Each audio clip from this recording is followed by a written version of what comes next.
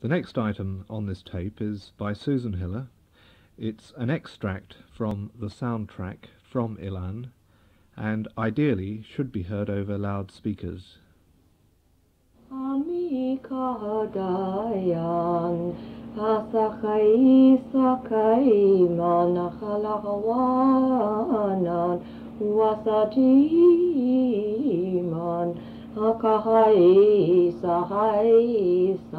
San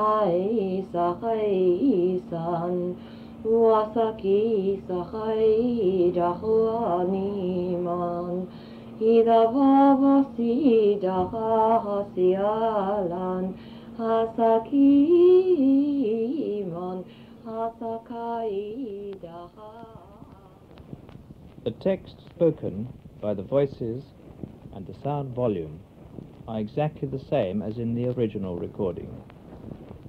To help the ear adapt itself to the strange rhythm, rapidity, and softness of the voice entity's speech, each utterance is repeated several times.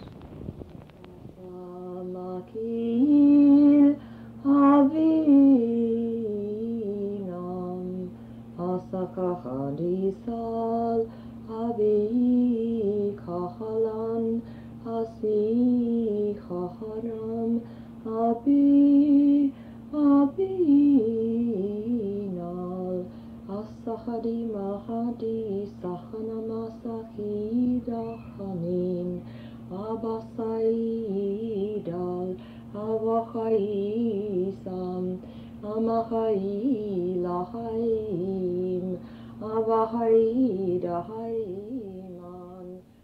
the experimenter calls the Russian poet Vladimir Mayakovsky, and a voice answers,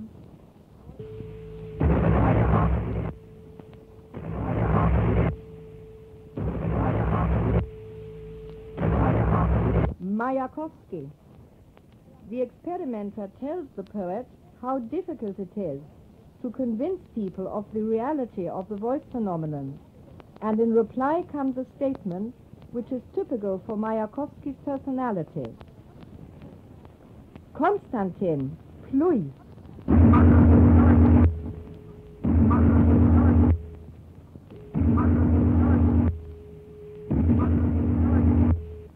In Russian, Konstantin,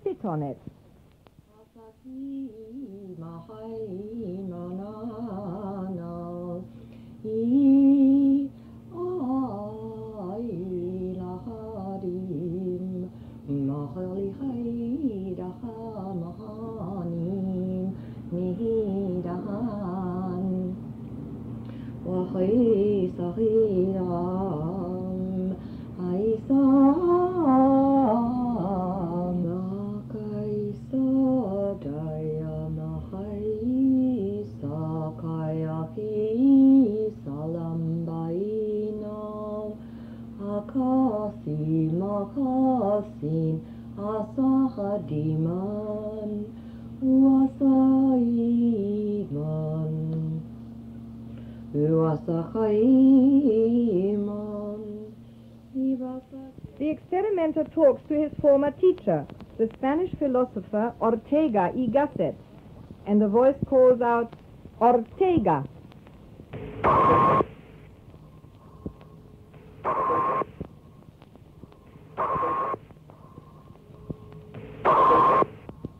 The experimenter asks whether the research into the voice phenomenon had any significance and whether it was based on firm foundations.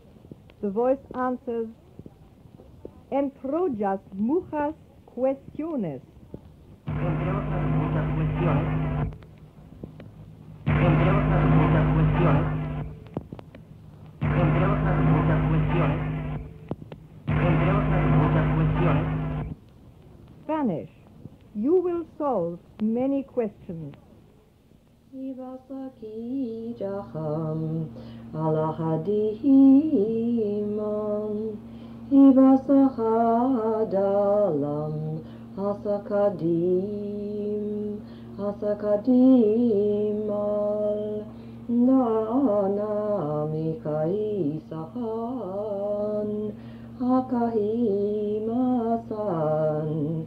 akadim nisakaisan akaim idayanal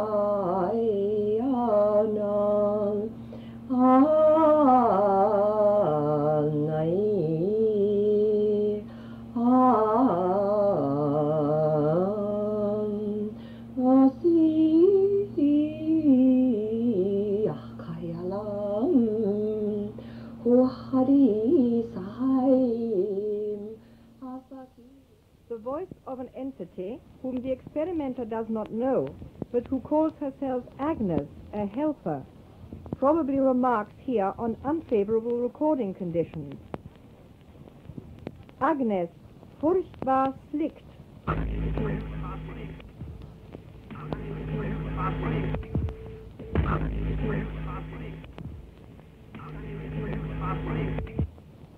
German and Latvian. Agnes, terribly bad. A voice, later identified as that of a man who lived and died in a place called Kirnbach in the Black Forest, Germany, says, Wartet auf Walter von Kirnbach.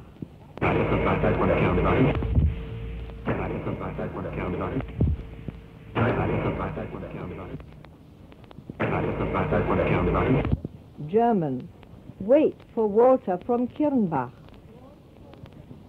A voice called James Joyce.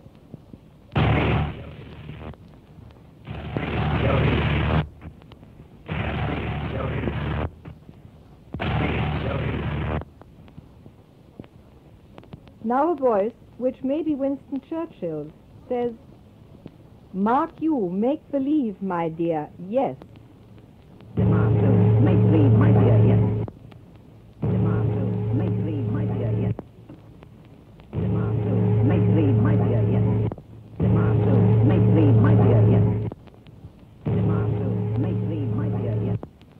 Followed by Winston Churchill.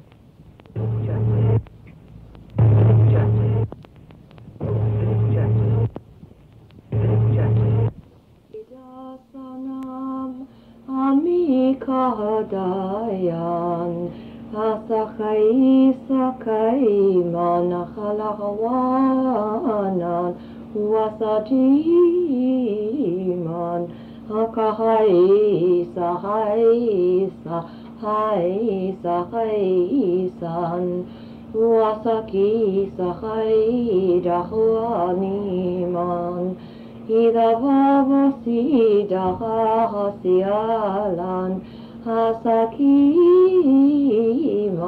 Hasakai dahaman Mai kasamakil Avinam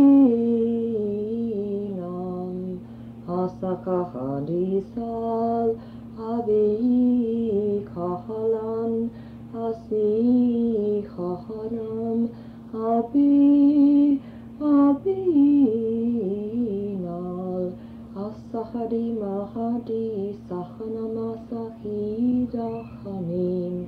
Awahaisam Amahaila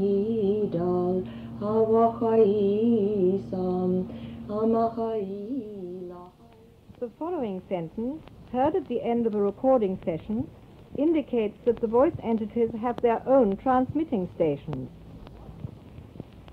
What nun, gute Nacht von Citadi.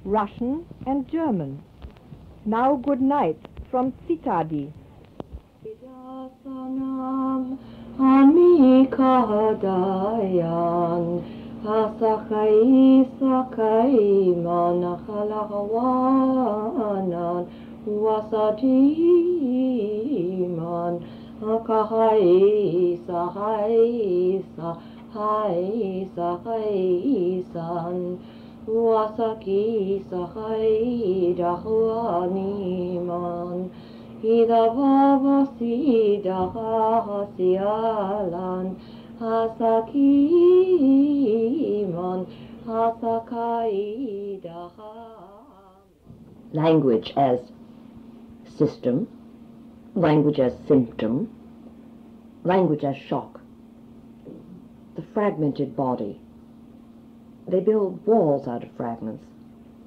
She builds a wall against silence. Five seconds of silence for the dead, starting now. Their silent memorial.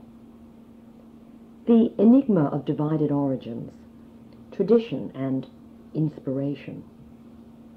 Fruitful incoherence, formless production, aimless production as expression. Here, language breaks free. Outside of its own quotation, the voice is a relic.